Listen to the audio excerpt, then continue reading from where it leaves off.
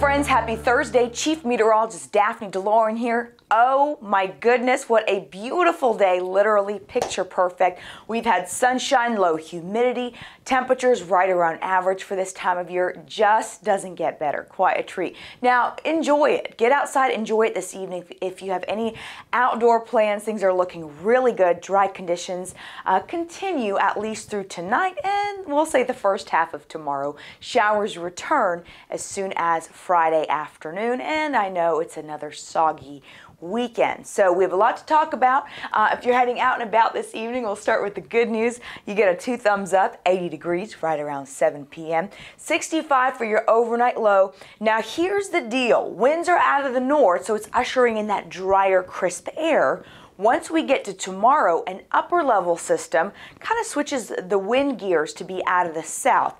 And you're going to notice increasing clouds, a little bit more humid conditions, and the chance for spotty to scattered showers mainly in the afternoon. You could get one in the morning, late morning, but the better chance is going to be Friday afternoon into the early evening hours. Keep that in mind. Not a whole lot in the way of severe weather, just some showers in the forecast and a few rumbles of thunder. Don't be surprised if you hear that. 85 for your high tomorrow, um, and then an overnight low of 68 degrees tomorrow night into Saturday.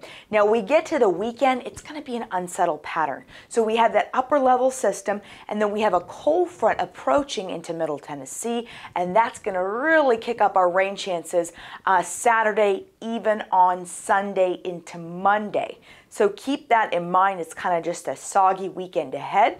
Now, Saturday, we have a 60% chance of showers and storms. Then Sunday, we'll start with a more so 40 to 50% chance and we'll work our way to a 70% chance. So that's how things are looking right now. Keep that in mind. Any outdoor plans, you really want to have a plan B. And uh, on the bright side, it's a cold front, so temperatures are going to be a little bit cooler behind the system. So I can't wait to share how much cooler we go coming up tomorrow, same time, same place, 5 p.m. I'm Chief Meteorologist Daphne DeLoren. This was your Middle Tennessee Fresh Forecast. I'll see you back here tomorrow. For now, have a wonderful evening, and I'll see you soon. Bye for now.